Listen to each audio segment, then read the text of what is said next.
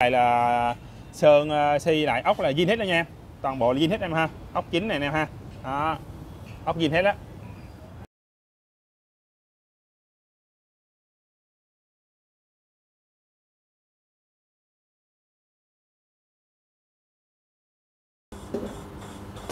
Xin chào anh em đến với độ xe bên com ha. Thì hôm nay Khánh có nhận uh, dọn full một em uh, Jupiter V nha anh em. Jupiter V uh, 51 S6 8468 nha anh em. Đây, thì mình sẽ dọn uh, xe lại full như mới cho chủ xe ha, dọn zin nha anh em chứ không có làm đổi hết anh ha. Đây, anh em nhìn sơ qua anh ha. Giá đã nó xuống cấp hết rồi nha anh em.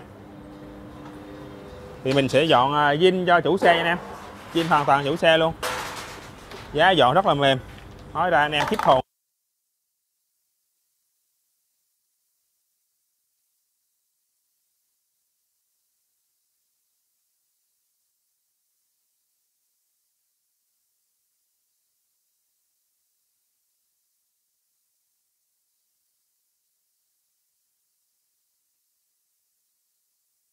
Chào anh em à, đến với độ xe việt nam.com Mình đã dọn à, xong chiếc à, Jupiter Jupiter V nha anh em. Đây ha, chủ xe đã giao mình dọn lại chiếc kỷ niệm cho chủ xe để chủ xe đi cà phê anh em ha.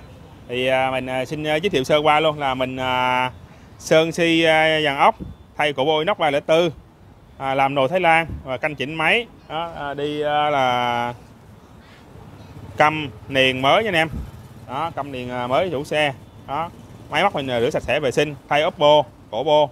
Đó, mấy phần à, như tabo tay này kia là mình à, thay mới chủ xe ha. Thì mình báo sơ qua cho anh em là cái giá mình dọn đây ha. Rồi giá anh nghĩ, em nghĩ chắc là cũng có chục triệu ha, không có đâu nha em. Mình chỉ dọn có 12 triệu thôi 12 triệu nha anh em. Đúng 12 triệu ha, bảo hành cho chủ xe là 3 tháng. Máy là mình làm nồi nha em, làm nồi thái ha, rồi canh chỉnh cho anh em. Đúng 12 triệu nha anh em, chứ không có hơn ha. Đó, mình không có dọn mấy chục triệu như người ta đâu rồi à, mình giới thiệu sơ qua phần trước đầu ha. Thì mình đã thay à, căm nha anh em. Thay à, căm sơn đùm đó sơn phuộc. Rồi à, dàn áo này nó đã dàn áo zin nha em. Zin ha mà bể bát này kia mình hàng lại và mình à, là sơ sơn này mới nha anh em. Đây anh em ha chó đèn này kia là mình làm mới lại. Đồng hồ cũng là mới luôn nha anh em. Đó mình đánh bóng mới lại ha. Đó tem tiếp là mình dán mới lại cho chủ xe luôn. Đây à, còn phần cổ bô. Cổ bô mình đi là cổ bô inox à, 304 đây ha inox 304 nha em. Hàng dấu kính trong này cho đẹp luôn em ha. Đó, bát bô mình thay. Đó, ở sau này cũng vậy nha anh em. Là thay căm căm dinh hãng luôn nha em căm dinh hãng ha. Rồi cặp thay niền đó.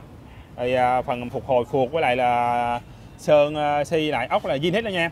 Toàn bộ là zin hết em ha. Ốc chính này em ha. Đó. Ốc zin hết đó